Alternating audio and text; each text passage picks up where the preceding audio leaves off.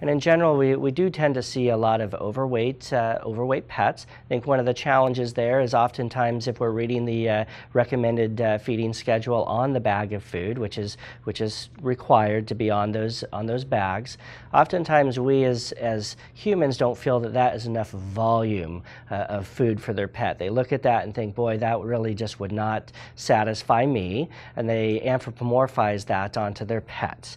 Uh, so we do see quite a, quite a bit of obesity. So we really need to be looking at nutritional content more than we do it with ingredients.